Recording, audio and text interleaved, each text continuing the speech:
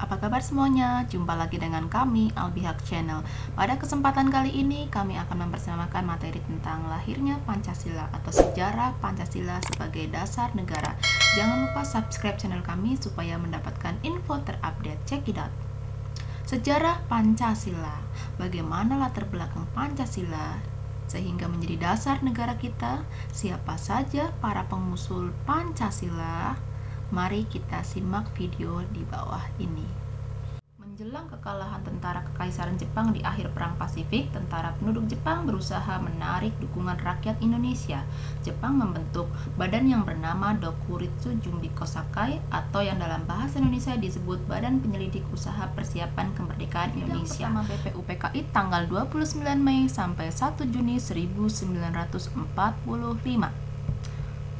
Sidang ini bertempat di sebuah gedung bernama Gedung Pancasila yang pada saat itu bernama Gedung Choshangi yang terletak di Jakarta.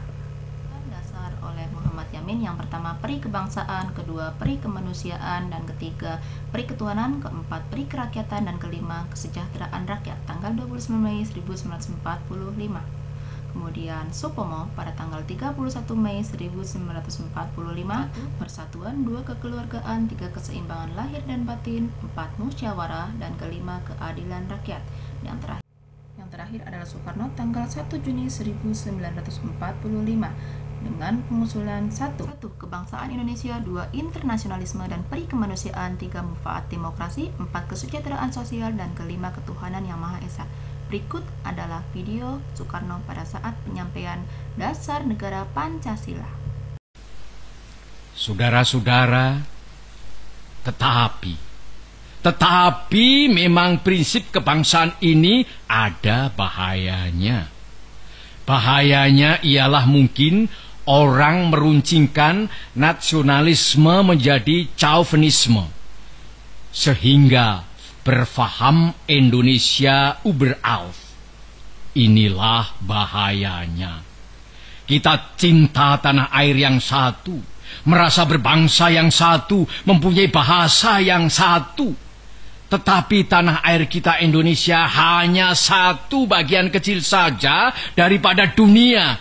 Ingatlah akan hal ini. Kita harus menuju persamaan dunia, persaudaraan dunia kita bukan saja harus mendirikan negara Indonesia merdeka, tetapi kita harus menuju pula kepada kekeluargaan bangsa-bangsa. Justru inilah prinsip saya yang kedua. Inilah filosofis prinsip yang nomor dua yang saya usulkan kepada tuan-tuan yang boleh saya namakan internasionalisme Internasionalisme tidak dapat hidup subur kalau tidak berakar di dalam buminya nasionalisme. Nasionalisme tidak dapat hidup subur kalau tidak hidup dalam taman sarinya internasionalisme. Jadi dua hal ini saudara-saudara, prinsip satu dan prinsip dua. Yang pertama-tama saya usulkan kepada tuan-tuan sekalian adalah pergandengan erat satu sama lain Kemudian apakah dasar yang ketiga? Dasar itu ialah dasar mufakat, dasar perwakilan, dasar permusyawaratan. Negara Indonesia bukan satu negara untuk satu orang, bukan satu negara untuk satu golongan, walaupun golongan kaya. Tetapi kita mendirikan negara semua buat semua, satu buat semua, semua buat satu. Saya yakin bahwa syarat yang mutlak untuk kuatnya negara Indonesia ialah permusyawaratan perwakilan. Dengan cara mufakat, kita perbaiki segala hal juga keselamatan agama, yaitu dengan jalan pembicaraan atau permusyawaratan di dalam badan perwakilan rakyat. Apa-apa yang belum memuaskan, kita bicarakan di dalam permusyawaratan. Prinsip nomor empat sekarang saya usulkan. Saya di dalam tiga hari ini belum mendengarkan prinsip itu yaitu prinsip kesejahteraan, prinsip tidak akan ada kemiskinan di dalam Indonesia merdeka. Maka prinsip kita harus Apakah kita mau Indonesia merdeka yang kaum kapitalnya merajalela ataukah yang semua rakyatnya sejahtera, yang semua orang cukup makan, cukup pakaian, hidup dalam kesejahteraan, merasa dipangku oleh Ibu Pertiwi yang cukup memberi sandang pangan kepadanya? Mana yang kita pilih saudara-saudara? Kita sudah lihat di negara-negara Eropa adalah badan perwakilan, adalah parlementer demokrasi. Tetapi tidakkah di Eropa justru kaum kapitalis merajalela? Di Amerika ada suatu badan perwakilan rakyat dan tidakkah di Amerika kaum kapitalis merajalela? Tidakkah di seluruh benua barat kaum kapitalis merajalela? Padahal ada badan perwakilan rakyat.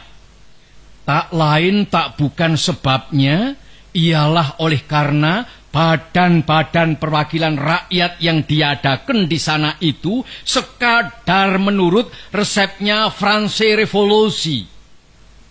Adakah keadaan yang demikian ini kita kehendaki?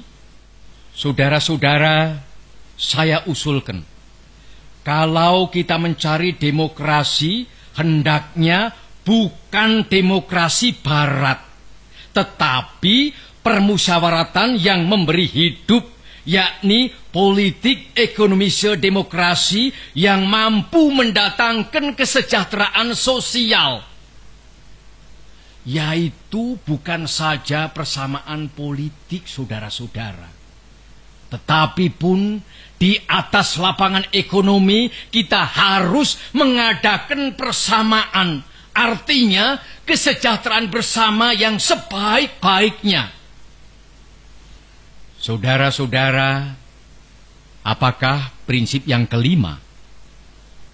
Saya telah mengemukakan empat prinsip. Satu, kebangsaan Indonesia.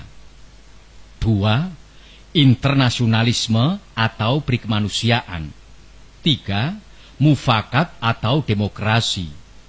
Empat, kesejahteraan sosial. Prinsip yang kelima hendaknya menyusun Indonesia merdeka dengan bertakwa kepada Tuhan yang Maha Esa. Prinsip ketuhanan bukan saja bangsa Indonesia bertuhan, tetapi masing-masing orang Indonesia hendaknya bertuhan. Tuhannya sendiri. Yang Kristen menyembah Tuhan menurut petunjuk Isa Al-Masih.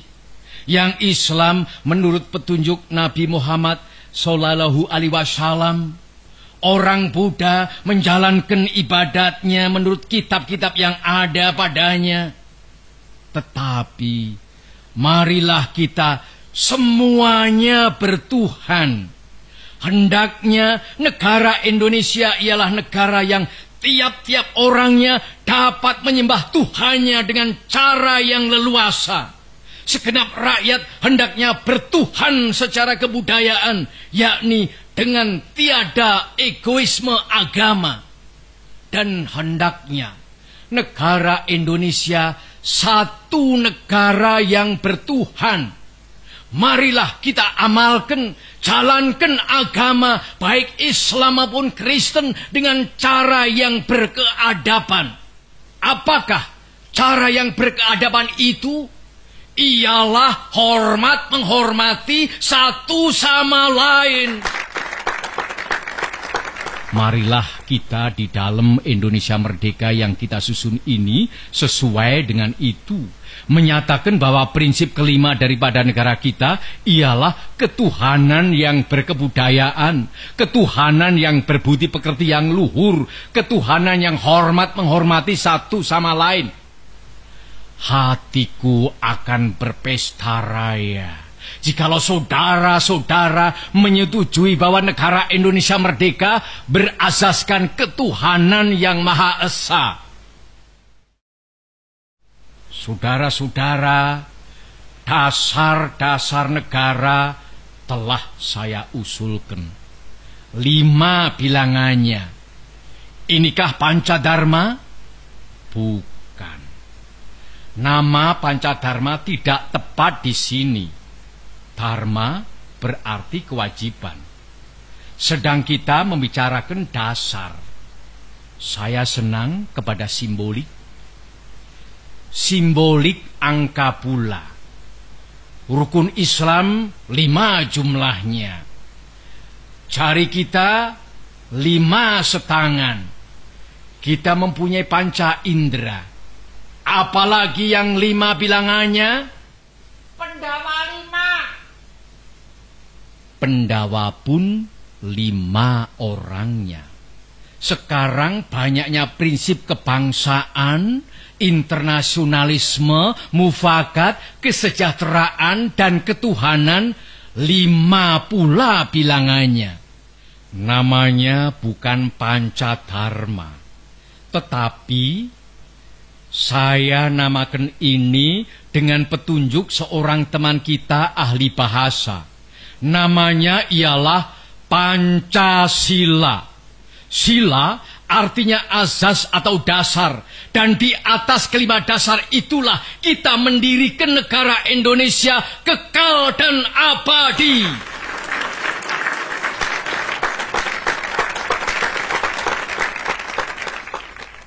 Atau barangkali ada saudara-saudara yang tidak suka akan bilangan lima itu? Saya boleh peras sehingga tinggal tiga saja. Saudara-saudara tanya kepada saya, apakah perasan yang tiga itu? Berpuluh-puluh tahun sudah saya pikirkan dia. Ialah dasar-dasarnya Indonesia merdeka. Weltan saung kita. Dua dasar yang pertama, kebangsaan dan internasionalisme. Kebangsaan dan peri kemanusiaan. Saya peras menjadi satu. Itulah yang dahulu saya namakan sosionasionalisme dan demokrasi yang bukan demokrasi barat tetapi politik ekonomi demokrasi yaitu politik demokrasi dengan sosial rehwardehit demokrasi dengan kesejahteraan. Saya peraskan pula menjadi satu. Inilah yang dulu saya namakan sosiodemokrasi. Tinggal lagi ketuhanan yang menghormati satu sama lain. Jadi, yang asalnya lima itu telah menjadi tiga. Sosio nasionalisme, sosio demokrasi, dan ketuhanan. Jikalau Tuhan senang kepada simbolik tiga, ambillah cara tiga ini tetapi barangkali tidak semua tuan-tuan senang kepada Trisila ini dan minta satu, satu dasar saja. Baiklah, saya jadikan satu. Saya kumpulkan lagi menjadi satu. Apakah yang satu itu? Sebagai tadi telah saya katakan, kita mendirikan negara Indonesia yang kita semua harus mendukungnya semua buat semua. Jikalau saya peras yang lima menjadi tiga dan yang tiga menjadi satu, maka dapatlah saya satu perkataan Indonesia yang tulen, yaitu perkataan gotong royong. Negara Indonesia yang kita dirikan haruslah negara gotong royong. Alangkah hebatnya negara gotong royong.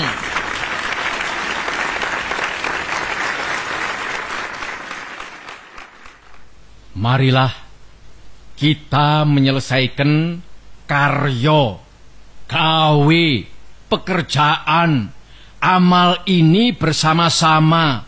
Gotong royong adalah pembantingan tulang bersama, pemerasan keringat bersama, perjuangan bantu binantu bersama, amal semua buat kepentingan semua, keringat semua buat kebahagiaan semua, holopis kontol baris buat kepentingan bersama, itulah gotong royong. Demikian 1 Juni 1945. Semoga video ini bermanfaat. Jangan lupa komen, like, dan subscribe channel kami. Terima kasih. Wassalamualaikum warahmatullahi wabarakatuh.